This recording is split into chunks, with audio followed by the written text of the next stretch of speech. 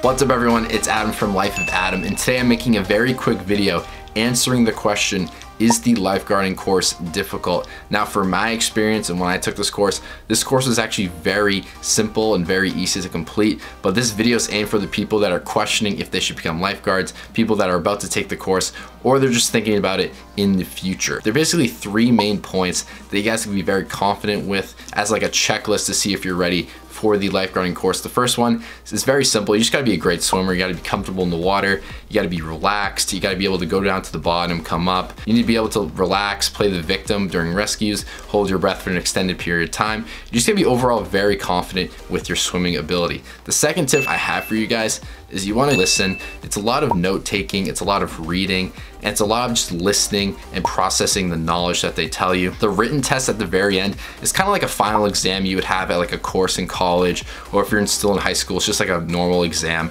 at the end of a year. So it, you gotta prepare for it. It's not something you just walk in and just guess A, B, and just get out of there and pass. You need to get above an 80%. It's gonna be difficult for the people that aren't the best test takers or are busy and don't have the time to prepare. So I highly recommend you take the test very seriously because it is, in a way, it's kind of difficult if you're not prepared. The last tip I have for you guys is you wanna do this at the right time. You wanna take the course when the demand to take the course is very low. I highly recommend you take the course in the winter time just because there's not gonna be as many people. The demand for taking the course is gonna be low, meaning that it's not gonna be as expensive if you took it in the spring or very last minute so you could become a lifeguard and get hired for a lifeguarding position like the next day. You wanna be take this well in advance. The winter time's awesome because you can take it at an indoor pool. It's a little bit more miserable, but the water's gonna be most likely heated, so it's gonna be easier to stay in there for a long period of time, especially during the days that you just do all rescues.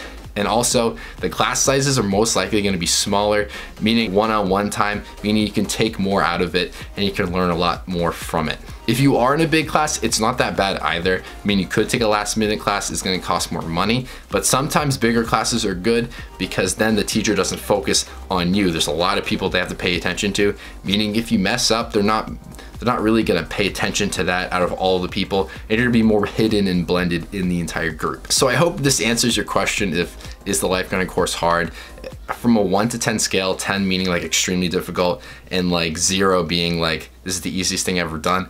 I would give it like a solid like five or six. It's like right in the middle. It's what you take from it and how much you really want it. If you're focused, lasered in, you do everything right, you do great on the swimming test, written test, it's gonna be a breeze for you guys. You guys are gonna become lifeguards with ease. For those who like half-ass it and don't really take it seriously, you're gonna get penalized for it. You're probably not gonna pass and therefore you're gonna have to spend more money to become lifeguard. So I hope you guys enjoy. Definitely like and subscribe if you're new to the channel. Definitely check out more of my lifeguarding videos on my channel. But thanks so much for watching. I'll see you guys in the next video. Peace out.